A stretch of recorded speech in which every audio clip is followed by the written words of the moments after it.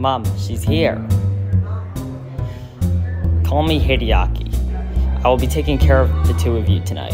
3:28 a.m. Where are they? They should be here by now. I love my life.